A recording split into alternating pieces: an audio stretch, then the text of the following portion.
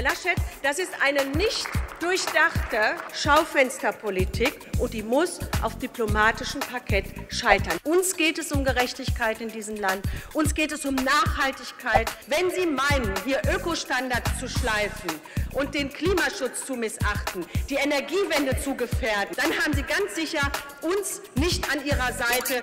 Mein Name ist Monika Düker. Ich bin geboren und aufgewachsen in Höxter in Ostwestfalen und nach der Schule ausgewandert ins Rheinland. Habe dann hier in Düsseldorf Sozialpädagogik studiert.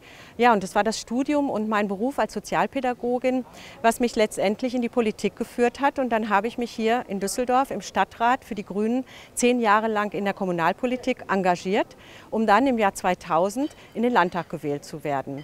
Dort bin ich derzeit Fraktionsvorsitzende und Sprecherin im Haushalts- und Finanzausschuss. Finanzausschuss.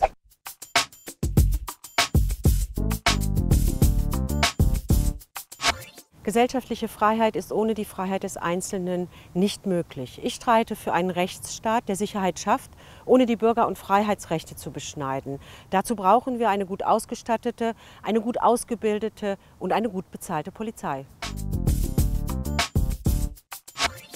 Genfer Flüchtlingskonvention war eine humanitäre Errungenschaft als Antwort auf die großen Fluchtbewegungen in der ersten Hälfte des 20. Jahrhunderts in Europa. Ich setze mich dafür ein, dass wir in Europa ohne Wenn und Aber zu diesen Verpflichtungen stehen. Der Klimawandel findet nicht in irgendeiner fernen Zukunft statt. Er ist da, er wird weiter großen Schaden anrichten. Ja, er wird irgendwann auch nicht mehr beherrschbar sein, wenn wir jetzt nicht gegensteuern, wenn jetzt nicht gehandelt wird.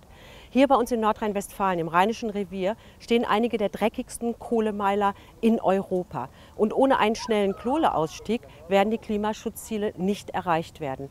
Die Energiewende geht ohne NRW nicht. Für die nötige Entspannung brauche ich Bewegung. Am liebsten nehme ich mir Auszeiten und gehe wandern oder schwimmen.